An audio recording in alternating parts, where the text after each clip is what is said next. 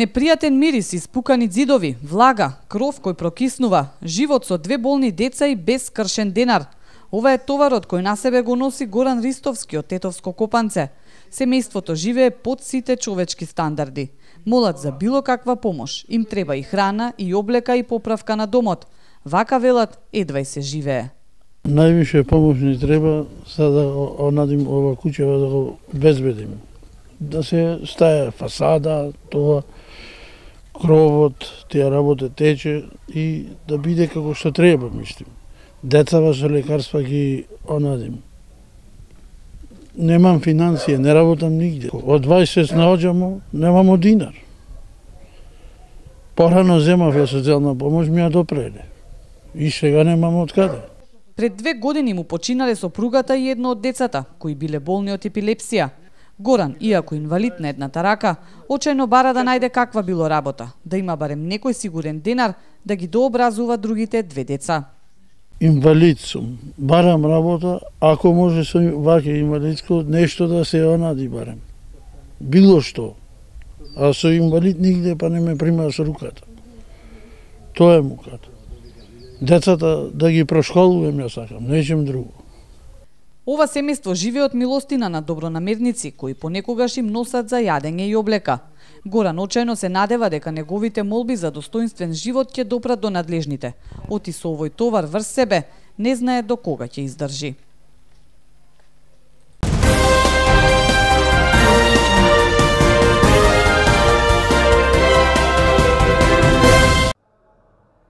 90% од ученичките во селата во земјава отсуствуваат од училиште 4 до 5 дена во текот на месецот кога имаат месечен циклус, а 75% во урбаните средини изостануваат 2 до 3 дена поради истите причини. Новинари за човекови права Институтот за јавно здравје со поддршка на британската амбасада ќе ги подобруваат условите на тоалетите. Денес во основното училиште Андреа Савески Чичиш во Тетово беше промовиран тоалет за менструална хигиена. Имавме среќа да бидеме избрани меѓу многуте училишта за спроведување на овој проект. Така да во изминатиот период овде се реализираше овој проект преку предавања за менструалната хигиена и беа офатени учениците во репродуктивниот период, поточно учениците од повозрастните одделенија. There should not be a situation where girls don't have access Не сме да има ситуации кога девојчињата немаат пристап до тоалет и средства за хигиена што им треба и да се срамат да побараат или пак да изостануваат од училиште поради тоа. Во Обединетото кралство статистиката исто така не е добра. 50% од девојчињата не одат на училиште кога имаат циклус. Ако имаме безбедни продукти за одржување на менструалната хигиена, девојчињата ќе имаат побезбедно здравје, значи подобро здравје. Значи ако практикуваат добри хигиенски практики, ќе имаме пак подобро здравје заради болестите кои може да ги добијат. Дали од небезбедна вода, дали од недосоодветна хигиена или несоодветна санитација.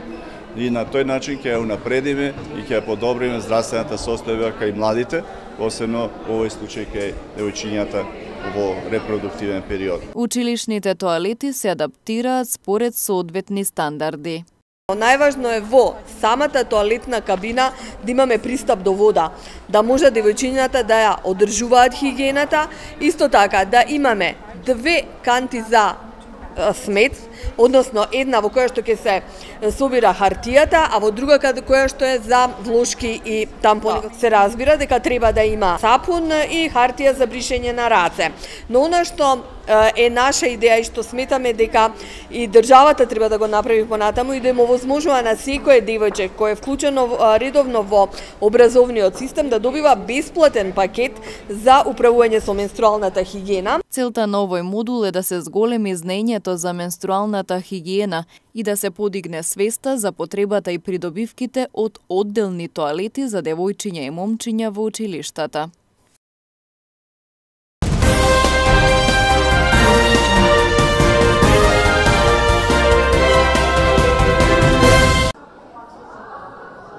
Слики сработени од деца со аутизам, заедно со помошта на нивните наставнички, денес беа изложени во Центарот за култура во Тетово. Организатор на изложбата е Сдруженијето Пурпура. Сликите и фотографиите што ги гледате е работата на нашата деца, на нашата Центар Пурпура, нормално на помагата на учителките.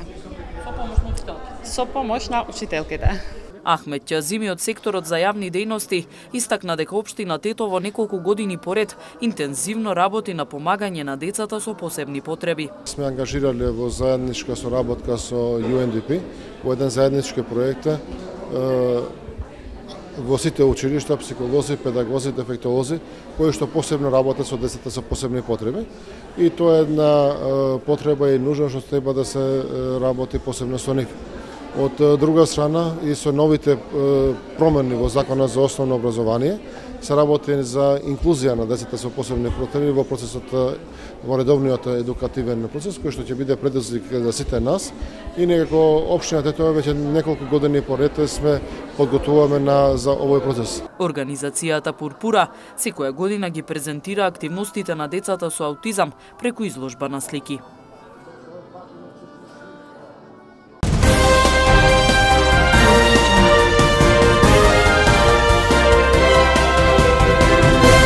Од партијата Беса повикуваат на солидаризирање со граѓаните во Албанија по катастрофалниот земјотрес. Оттаму апелира за државна помош за настраданите. Апелираме преку сообщение на председателот на партијата и на председателот Било Касами, апелиравме до институциите да се солидаризираат во со склоп на тоа да се помогне колку толку да се ублажи болката и да се достава колку е можно помош. По примерот на Грција, Италија, еве пред малку читав 500.000 евра да се поделени од владата на Косово во вид на помош. И во таа насока и ние сакаме да се солидаризираме и апелираме до, до владата за добар слух кон ово солидаризација.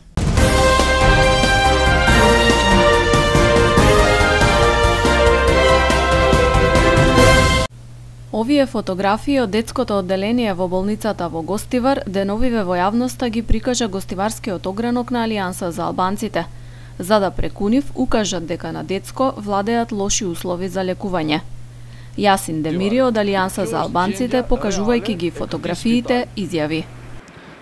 За тоа што се случува во оваа болница зборуваат самите пациенти и фотографиите од просториите каде постои страв дека може да се заразите од нечистотијата. Ја подсетуваме и албанската владеачка партија во какви услови работат вработените во оваа болница, а исто така и какви услуги примаат пациентите, нагласувајќи дека повеќето се албанци.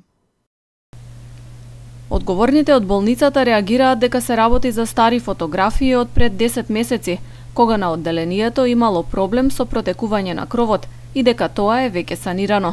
Повикаа новинарски екипи за да ја покажат моменталната состојба во истите простории. Тие фотографии што сега ги, ги сте ги виделе и граѓаните ги виделе, тие се стари слики од тоа време. Ние тогаш имавме проблем и е, постоеше тој проблем и тие слики се веродостојни за тоа време. Веродостојни.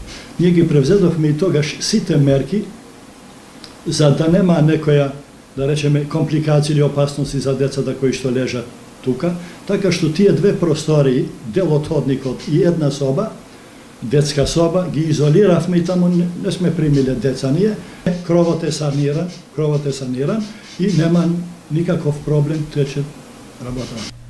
Муча најави дека со подршка на турската агенција ТИКА во првите месеци од следната година ќе започнат работи за целосна реконструкција на одделението.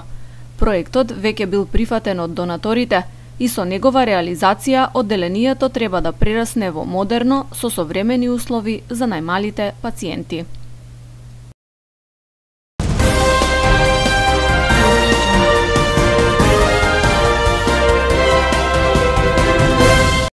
Јован Чевановски Шуко, тренер на карате клубот Љуботен. Шуко, кажи ми на, на каков тип на надпревар настапувавте, каде и каков успех постигнавте? Карате клубот Љуботен настапи на меѓународен карате турнир Лесковац, каде учествуваа балканските земји Србија, Македонија и Бугарија. Значи, совкупно 600 надпреварувачи од тие балкански земји, карате клубот Љуботен освои две сребрени медале и 14 бронзени медале, од кои можем да им честитам на сите, пошто се овие полетарци, почетници, и го осветлија а, името на каратето од Македонија со успехот во Лесковац. Можем да им честитам на сите, ама најповеќе на најмалавиот Петар Илковски, кој освои три медале, кој имаше срце со сите деца во сите категории, во ката поединечно, во борба поединечно и во екипно ката. Значи, он е славеникот и му се додели еден мал пехар за успехот што се деси во Лесковац. Како сте вие задоволни од тоа што го постигнавте? Јас сум презадоволен, нас не очекуваат сега полагања за званични појаси на децата. Од мој јануар стартуваме за Белград одиме на Белград Опен, тоа за младинци са, и понатака цела лепеза има над превари широм Европа. Само ако најдеме спонзор, децата се спремни, ние сме спремни, не. Ја бев у, у Лесковац, добив две укатен, а трето место една убојба, второ место. Јас бев во Лесковац, освоив две медали, двете трето, една во ката, ката сам посам едната во борба. Јас освоив бронзена медаја во две бронзени медали во ката. Ја освоив една сребрена медала во поединечно ката. Јас освоив трето место, освоив две медале бронзени и трето место. Јас освоив трето место, добив две медали, едната беше во групно и едната сам по сам. Јас е, освоив бронзена медаља, трето место во Лесковац. Освоив э, трето место и и и бронзена медаља. Бев во Србија и освоив две бронзени медаље.